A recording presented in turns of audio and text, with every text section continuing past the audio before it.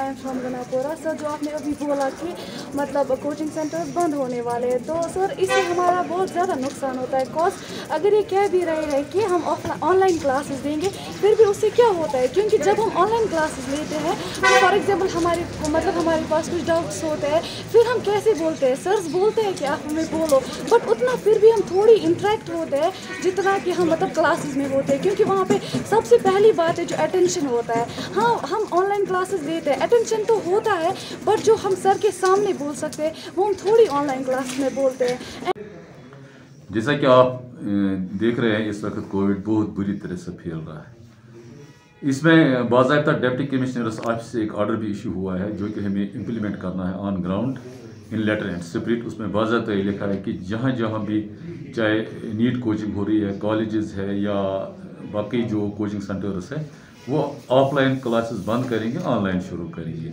इसमें बाज़ाब्ता एक ऑर्डर भी इशू हुआ है, जैसा कि हमने देखा, और इसके अलावा भी डिप्टी कमिश्नर साहब खुद आज यहाँ इस बारे में एक रिव्यू ले रहे हैं। ढाई बजे उन्होंने एक मीटिंग रखी है यहाँ एनवायरनमेंट हॉल में तो बाबा सब कुछ वहाँ और क्लियर हो जाएगा। तो ये है कि टारगेट किसी को नहीं बनाया जा रहा है। तो एजुकेशन डिपार्टमेंट के हवाले से मैं आपको ये बात करूँ, क्योंकि जो बच्चे होते हैं नज़दीक नज़दीक नो डाउट वो प्रोटोकॉल का पालन कर रहे हैं, पर डायरेक्शन तो ऊपर से आ रहे हैं हायर अप से। ये तो डिप्टी कमिश्नर के डायरेक्शन और जहाँ तक आप का सवाल है जो कि बाज़ार है या बाकी है, हमने परसों से अवेयरनेस शुरू किया है। बाज़ार में हम गए, गली कोचों में गए हमने। हमने लोगों को भी कहा कि आपको प्रोटोकॉल जिस तरह आप कॉपरेट हमें कर रहे थे लास्ट टाइम से, इस वक्त भी आपको भी वो प्रोटोकॉल फिर लेना है और अकॉर्डिंगली हम आपके माध्यम से भी उनको यही गुजारिश और कर रहे हैं कि आप कम से कम मास्क यूज़ करें।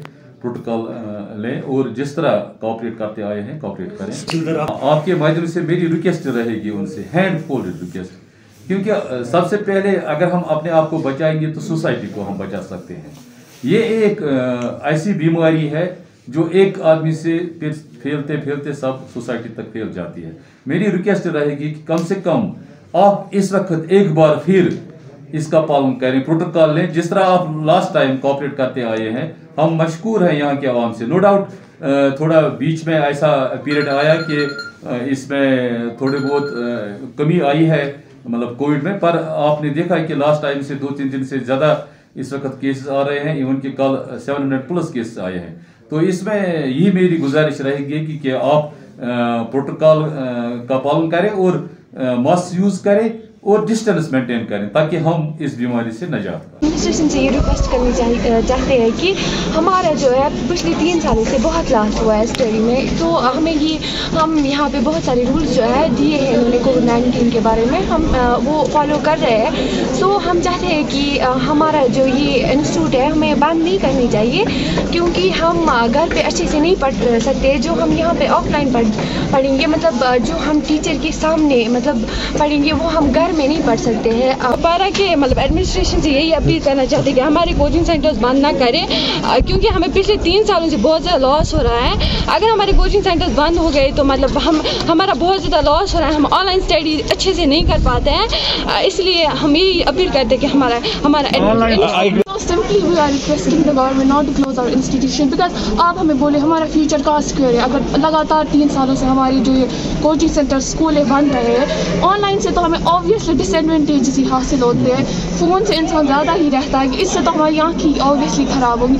क्वेश्चंस क्लियर नहीं हो पा रहे हमारे ऑनलाइन में। हम चाहते हैं कि हमारे हमारी कोचिंग सेंटर एटलीस्ट हमारी कोचिंग सेंटर्स ही खुले रहे, क्योंकि एस भी हम अच्छे से फॉलो कर रहे हैं स्कूल अपनी कोचिंग सेंटर्स में। और क्वेश्चंस हमारे अच्छे से क्लियर हो रहे हैं। हम बस इतना ही चाहते हैं कुपवारा एडमिनिस्ट्रेशन से हम डिमांड कर रहे हैं कि हमारे कोचिंग सेंटर्स खुले रखें। दैट जर्सी बंद हो रहा है। बाज़ार में इतनी गैदरिंग होती है। यहाँ पर टूरिस्ट प्लेस है वहाँ पर भी गैदरिंग्स होती है, लेकिन आपने सिर्फ़ कोचिंग सेंटर्स बंद कर रहे हैं। ये क्यों सिर्फ़ कोचिंग सेंटर सिर्फ़ एजुकेशन पे की जगह कर रहे हैं आप? यहाँ पर जो मार्केट्स है शॉप्स है मार्केट में इतनी गैदरिंग होती है, सिर्फ़ यही हमारा फ्यूचर बर्बाद हो रहा है। सो हम यही कहना चाहेंगे कि कोचिंग सेंटर्स बंद मत करें। आप मार्क्स की तरफ़ देखें, वो बंद नहीं हो रहे हैं वहाँ पर इतनी गैदरिंग्स होती हैं। या टूरिस्ट प्लेस वहाँ पर आप देखें कितने वहाँ पर होती हैं मतलब गैदरिंग्स और हम कहते हैं कि हम ऑनलाइन क्लास लेंगे बट ऐसे स्टूडेंट्स होते हैं, ऐसे जिनके पास फ़ोन नहीं होता है मतलब वो कैसे लेंगे? एंड नेटवर्क भी इतना स्लो चल रहा होता है तो हम यही कहेंगे कोचिंग सेंटर्स बंद ना करें, पहले मार्केट्स की तरफ़ देखें टूरिस्ट प्लेस की तरफ़ देखें, फिर स्कूल्स और education Tabinda Batool I am from Ganapura sir जो आपने अभी बोला कि मतलब कोचिंग सेंटर्स बंद होने वाले हैं। तो सर इससे हमारा बहुत ज़्यादा नुकसान होता है। कॉज अगर ये कह भी रहे हैं कि हम ऑनलाइन क्लासेस देंगे, फिर भी उससे क्या होता है? क्योंकि जब हम ऑनलाइन क्लासेस लेते हैं तो फॉर एग्जांपल हमारे मतलब हमारे पास कुछ डाउट्स होते हैं, फिर हम कैसे बोलते हैं? सर्स बोलते हैं कि आप हमें बोलो बट उतना फिर भी हम थोड़ी इंट्रैक्ट होते हैं, जितना कि हम मतलब क्लासेस में होते हैं, क्योंकि वहाँ पर सबसे पहली बात है जो अटेंशन होता है। हाँ हम ऑनलाइन क्लासेस लेते हैं। अटेंशन तो होता है बट जो हम सर के सामने बोल सकते हैं, वो हम थोड़ी ऑनलाइन क्लास में बोलते हैं।